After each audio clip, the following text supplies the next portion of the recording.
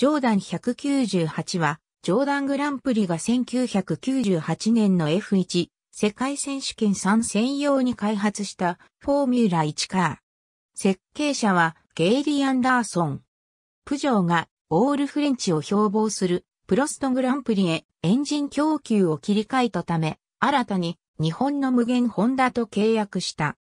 結果的にこの2チーム間でエンジンが入れ替わることとなった。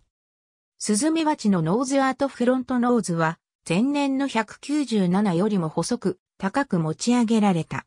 サイドポンツームは前後に長くスクエアな形状に変更された。序盤戦はティレルが発明した X ウィングをコピーしてサイドポンツーン上に立てていた。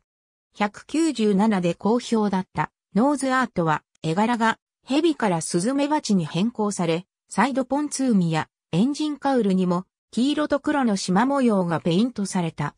タバコ広告が禁止されているグランプリでは、メインスポンサーのロゴがベンソンヘッジスからバゼン・ホーナッツに変更された。ドライバーはチーム2年目のラルフ・シューマッハに加え、アローズからデーモン・ヒルを獲得した。チャンピオン経験者の在籍はチーム初となる。レギュレーション変更で導入されたグルーブドタイヤやナローボディカなどへの対応に失敗し、シーズン前半は無得点というスランプに陥り、デザイナーのアンダーソンはシーズン途中に離脱した。